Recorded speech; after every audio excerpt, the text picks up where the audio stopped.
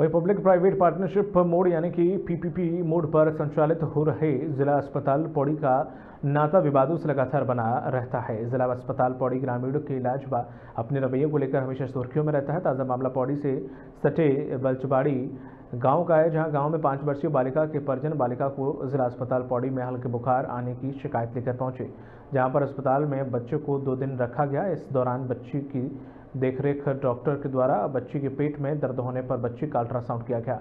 Ultrasound report आने के बाद बालिका के परिजनों को डॉक्टर के द्वारा बच्ची की पित्त की थैली नौ दशमलव तीन मिलीमीटर की पथरी होने की बात कही गई और तीन दिन के भीतर ऑपरेशन करने की सलाह दी गई। आनंद फानंद में परिजन बच्ची को लेकर बेस अस्पताल श्रीनगर के लेकर संयुक्त अस्पताल श्रीनगर में इलाज के लिए पहुँचे, जहाँ डॉक्टर द्वारा बच्ची के परिजनों को पथरी न होने की बात कही गई। इसके बाद बालिका के परिजनों ने जिला अस्पताल पौड़ी पहुंचकर जिला अस्पताल के एमएस के समक्ष अपनी समस्या को बयां किया।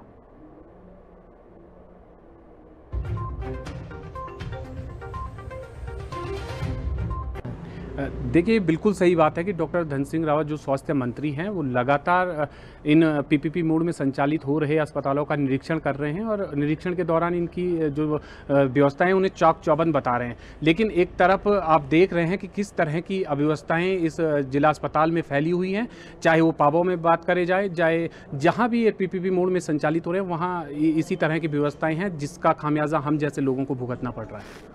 जो मुझे जानकारी मिल रही है निश्चित रूप से मैं सीएमएस से बात करता हूँ कि ऐसी गलतियाँ नहीं होनी चाहिए। मेजर गलतियाँ ये। और इस तरह की गलतियाँ होंगी तो निश्चित रूप से इनको जो है इस हॉस्पिटल से मतलब काम नहीं मिलना चाहिए। क्यों?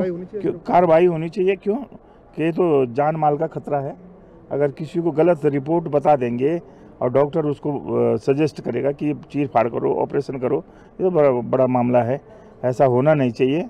और मैं इस संज्ञान को लेते हुए बातचीत करूँगा। इनके दौरान जो भी हुआ, तीन दिन के बाद श्रीनगर मेडिकल कॉलेज में अल्ट्रासाउंड रिपोर्ट में कोई भी पथरी नहीं देखा। सो एक दो कारण इसमें हम बताना चाह रहे हैं। कभी कभी क्या होते हैं गाल ब्लैडर के अंदर स्लज बोलते हैं उसको हम मेडिकल टर्म्स में। स्लज जब बनते हैं, ये दिखते सेम टू सेम एक पथरी जैसे हैं। जब कुछ दिन के बाद स्लज अंदर से निकल जाते हैं। एक रीज़न ये हो सकता है। सेकंड रीज़न किसके गलती है, किसके सही है, हम हम भी कमेंट नहीं कर रहे हैं।